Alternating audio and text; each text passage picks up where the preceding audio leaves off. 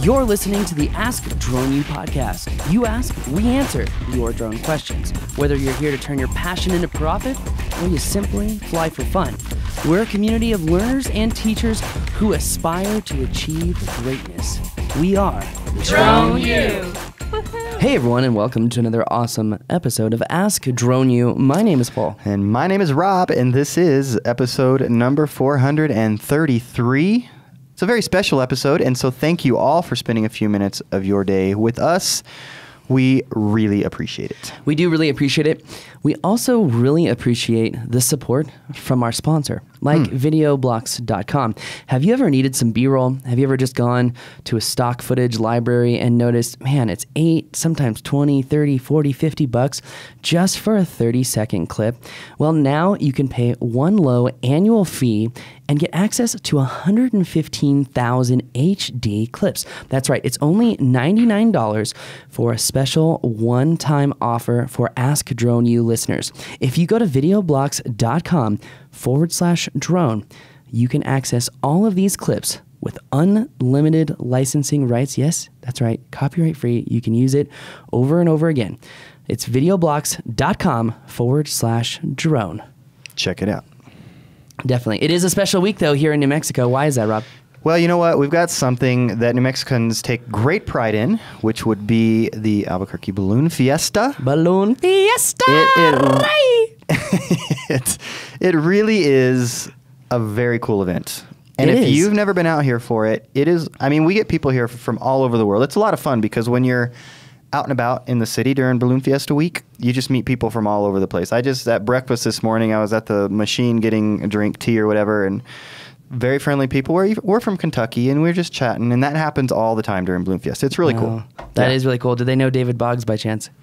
I don't think they knew David Boggs. Oh, that's too but I didn't ask them, so maybe they you do. should have been like, hey, do you know the guy who had his drone shot out of the sky by a shotgun in your city? That's one of our students. yeah. Maybe they would know him. I don't know. oh, man. Anyways, it's cool. It is cool. Um, if you haven't checked it out, here's some awesome stock footage. I'm actually going to upload some of this stuff to Video Blocks later. So if you ever need some B roll of Balloon Fiesta, I'm going to upload some so you can get it.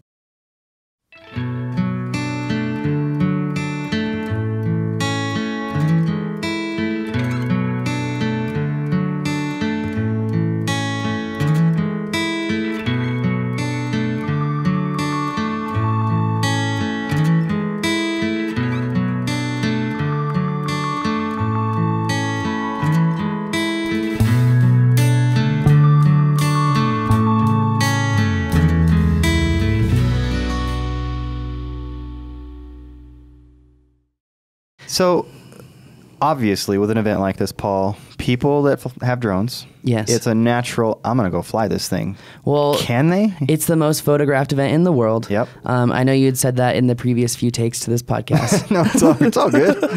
Just the facts. um, uh, but yes, even Canon is here, and they give out uh, 5Ds, 6Ds, 70D Mark IIs. Um, they give them out to people, and uh, you all you have to do is take pictures of whatever you want. You can keep the pictures. You give the camera back at the end of the day. Uh, they get to keep the pictures as well. But it's pretty cool that they just hand out probably a half a million dollars in cameras. That's amazing, actually. So very is cool. it is truly amazing. and it's I really mean, smart. there are hundreds, if not thousands, of balloons. So there's definitely many different perspectives you can get. Yeah, absolutely. So, taking pictures from the ground, obviously, that's okay. What's Is- the natural tendency, uh, Rob? Yeah, the natural tendency is for people that have a drone, and, and we hear too often about people that are not being responsible for their drone. If that happens in this case, it could be very dangerous. And so they're not allowed to do that. And w- so what's going on with that? So we're gonna give you three reasons why not to fly a balloon fiesta. Hmm. Number one, reason number one, it's a federal crime. yeah, that's a really good reason. you can't fly in a TFR. Uh, we are speaking to David Jones, the head of the uh, FSDO department, which is in charge of that's the FAA, which is in charge of safety, uh, making sure all the balloons get off safe. I mean, there literally are hundreds, if not thousands, of balloons on that field at one time. And uh, it's incredible what they undertake. But rule, yeah, reason number one to not fly Balloon Fiesta, it is a TFR, temporary flight restriction, and you can get in a lot of trouble for it. Yeah, and, and number two, and, and frankly, some of these reasons they probably overlap in terms of one versus two and three. So number two, I would assume would be Number two, because NASA will take you out of the sky. and you'll lose your drone. So I almost would like to see that happen. I know, but I don't want to see that happen. So don't try that. But that So- is pretty amazing. So what do they have going on? So NASA has been beta testing their anti-drone uh, technology. I think it's. I don't know. This is purely speculation, but I think their system is very similar to the drone rifle, where it's just interrupting the signal, takes the signal over, tells the drone what to do, lands the drone by the operator, um, and they figure out who's flying the drone. Right. And I think that's really cool because you're not taking the drone out of the sky. It's not falling on people. Uh, They're able to see who's flying. Mm-hmm. Very important. Um, you know, I think if that there were projectiles aimed at drones while they're flying around at Balloon Fiesta, it probably wouldn't work out for the balloons so well either. Probably not. Yep. That's probably not the best idea. So, also, you know, a balloon can handle a 12 inch tear in the balloon, but anything bigger than that, and they're going to have very serious problems staying aloft. Yeah. So, uh, you know, it's a hazard to balloons. Uh, reason number three to not fly your drone at Balloon Fiesta APD, supposedly, has a new UAS division. Interesting. So, chances are you're going to get arrested. You know, I saw that the APD is out on horses this year, and I don't know how many years they've been doing that, but that's pretty cool. So I That wonder if some of those guys are out on the horses. It, yeah, that would be uh, really that would be really interesting. You know what? You just gave me an idea for a video for the Mavic. Cool. Launching a Mavic off of a horse's butt. Okay. Coming to a theater near you.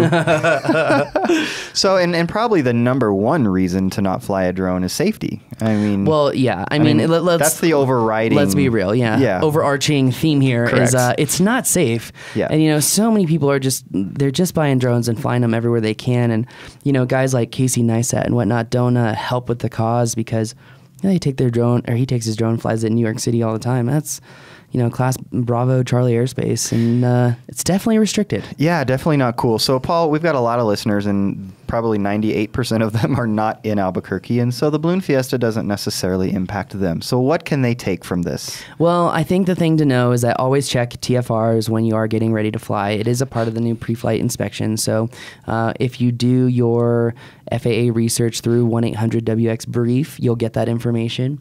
Um, airmap.io has TFRs built into it, um, uh, but also. I always check two of these. I never have just like looked at one and been satisfied, to be honest.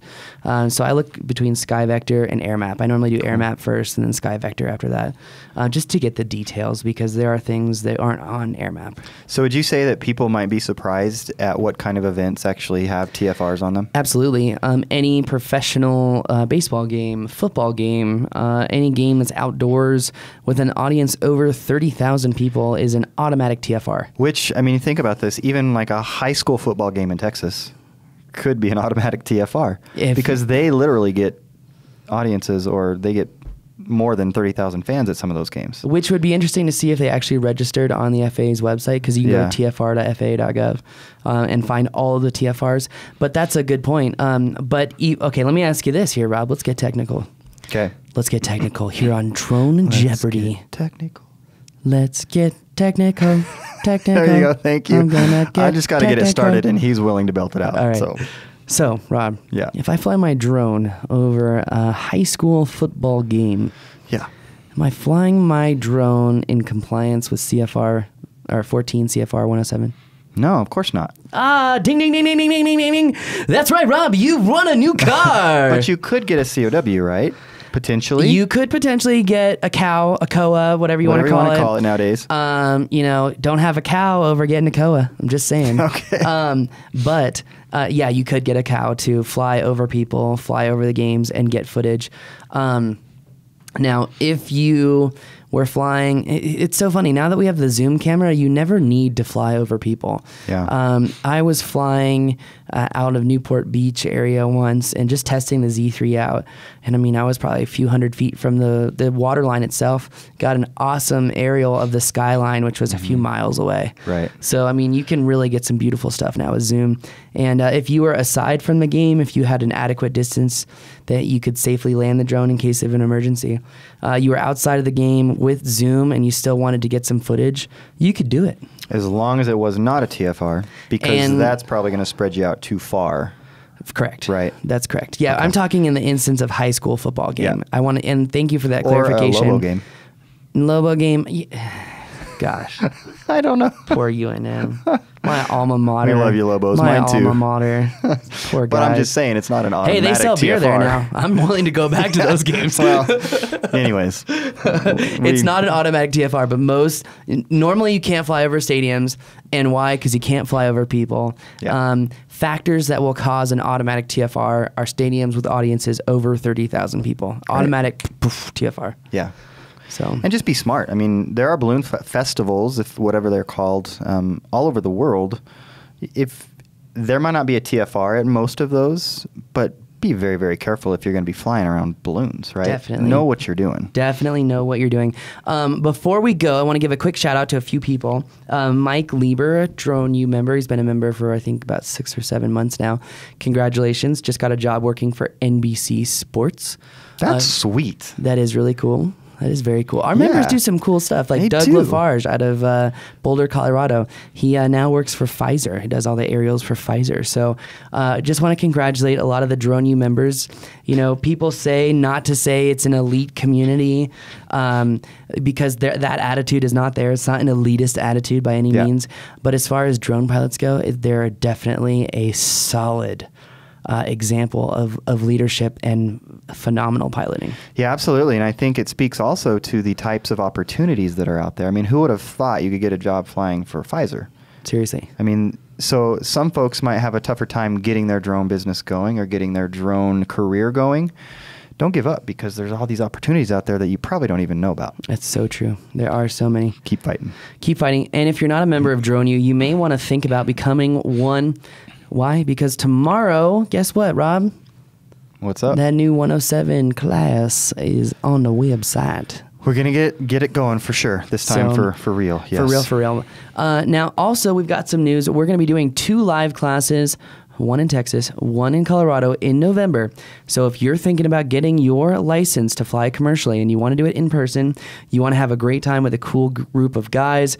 I mean, really, the last time we went out there, we had so much fun. You'll get to meet me, uh, and we're even going to have an extra day of flying, so it's going to be a lot of fun. So make sure to check out droneulive.com. That information should be up later this week. I am letting you know. Early bird gets the worm, so I'm letting you guys know.